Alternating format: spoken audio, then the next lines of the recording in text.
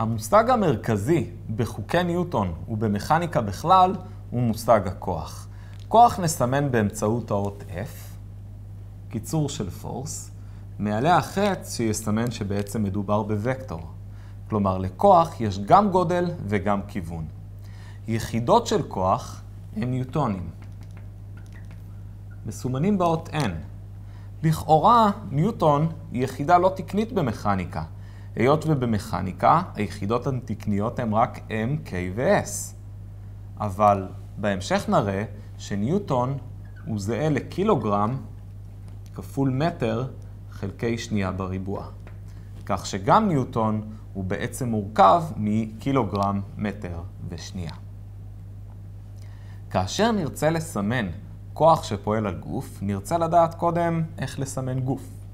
גוף נסמן באמצעות מלבן, ובמרכזו האות M, קיצור של מסה.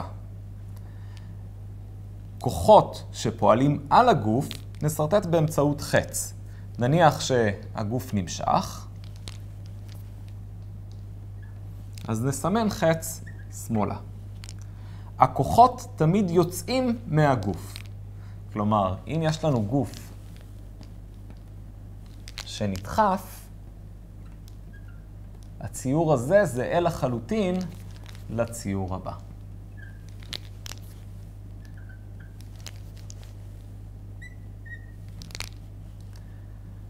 במקרים רבים, הלקוח יפעל, על הגוף יפעל יותר מכוח אחד. לדוגמה, יש לנו מסה M, ופועלים עליה מספר כוחות. כוח כלפי מעלה, שנוכל לסמן אותו כ-F1, וכוח שמאלה, F2, וכוח כלפי מטה, F3, וייתכן כמובן גם כוח באלכסון, שאותו נוכל לסמן ב-F4, כולם וקטורים. על מנת לתת תיאור כמותי לכוח שפועל על הגוף באופן כללי, נידרש לכוח שנקרא כוח השקול. כלומר, חיבור וקטורי של כל הכוחות שפועלים על הגוף. על מנת להגיע לכוח השקול, נצטרך קודם כל לסרטט את כל הכוחות כאילו הם יוצאים מראשית צירים. נזכור, אנחנו מדברים על מסה נקודתית. נוכל לסרטט ראשית צירים, כך שבמרכזה בנקודה הזו שנמצאת במרכז בעצם נמצאת המסה, ועל גבי הצירים נסרטט את הכוחות. F1 שפועל כלפי מעלה, F2 שפועל שמאלה,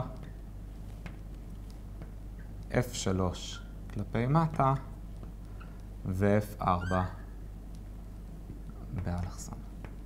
עכשיו נוכל להשתמש בשיטות שלמדנו כבר לגבי חיבור וקטורים. אלא שהפעם לוקטור יש משמעות, המשמעות היא משמעות של כוח. את הוקטור השקול, כלומר הוקטור שמהווה חיבור של כל הוקטורים, אנחנו נסמן באמצעות סיגמה F. סיגמה הוא בעצם מסמן סכום מבחינה מתמטית. סיגמה F מבטא חיבור של כל הוקטורים שפועלים על הגוף. כלומר F1 ועוד F2 ועוד F3 ועוד כל הוקטורים שפועלים. לסיגמה F יהיו כמו לכל וקטור, רכיב בכיוון ציר x ורכיב בכיוון ציר y. כלומר, סיגמה F שווה לסיגמה F בכיוון x, x כובע, ועוד סיגמה F בכיוון y, y כובע. כאשר אנחנו מחברים וקטורים, נזכיר, אנחנו תמיד סוכמים את כל הרכיבים בכיוון ציר x, אלו יהיו סיגמה F בכיוון X, וסוכמים את כל הרכיבים בכיוון ציר Y, וזהו סיגמה F בכיוון ציר Y. חשוב מאוד כאשר אנחנו עובדים עם וקטורים, ברוב המקרים אנחנו נרצה לדעת לא רק מהו הגודל של סיגמה F, גודל וכיוון, אלא גם נרצה לדעת את הרכיבים. היות ואנחנו עובדים על כל ציר וציר בנפרד, נרצה לדעת מהו סכום הכוחות בכיוון ציר X ומהו סכום הכוחות בכיוון ציר Y. סכום הכוחות בכל ציר וציר ייתן לנו את ההבנה על איך מתבצעת הדינמיקה, כלומר איך הגוף נע בכל ציר וציר בנפרד.